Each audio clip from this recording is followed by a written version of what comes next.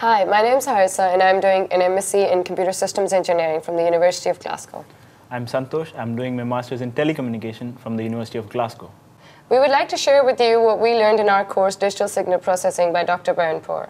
What we basically did was we took ECG samples from the students, and then we used MATLAB to remove the 50 Hz noise from the signals.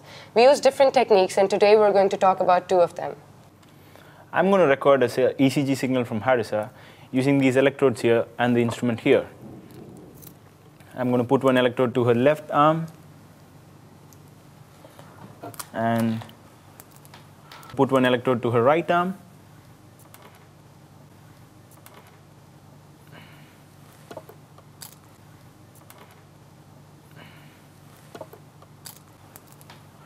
One to her right leg and the last one to her left leg. What these electrodes do is they pick the ECG signal from a body and they're going to be transmitted to my system using these equipments here. That's the ECG signal, which doesn't look like one.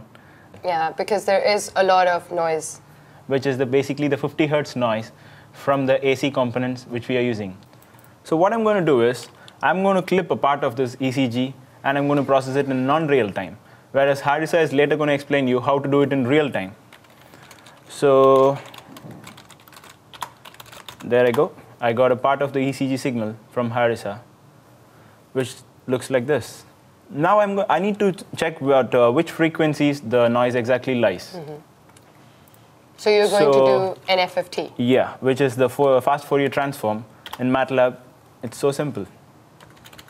Just FFT of the signal, and I get the signal like this, which shows the frequency components. At the 50 hertz, we can see a peak. Yeah. So there are two peaks, which are like the 50 hertz noise, which can be seen from the index numbers. Mm -hmm. So the 50 hertz noise needs to be knocked out. Obvious. I'm going to use the index numbers of where the 50 hertz actually lies, and I'm going to just put zero there numerically. Okay. Okay. I now can see the zero. FFT of the signal with no uh, with the two peaks removed. Obviously, yeah. Okay. To see whether this 50 hertz is really removed, I need to go to the time domain, which I'm going to use.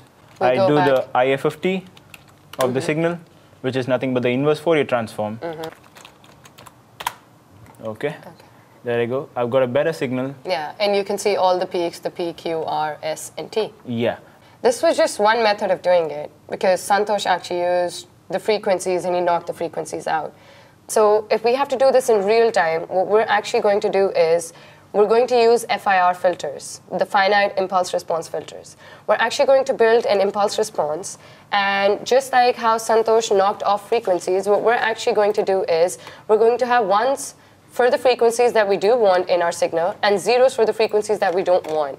So in this case, I'm going to knock out the 50 hertz frequency, and Santosh over here would build me an impulse response.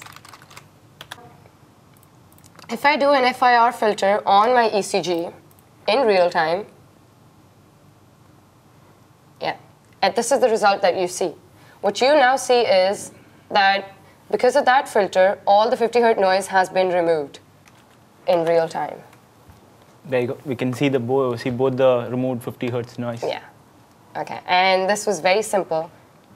And this is what we learned in the course basically this 50 hertz noise interference is going to be there in all the equipments which has sensors and using the uh, AC power supply. So this is like the basics of what is there for the signal processing.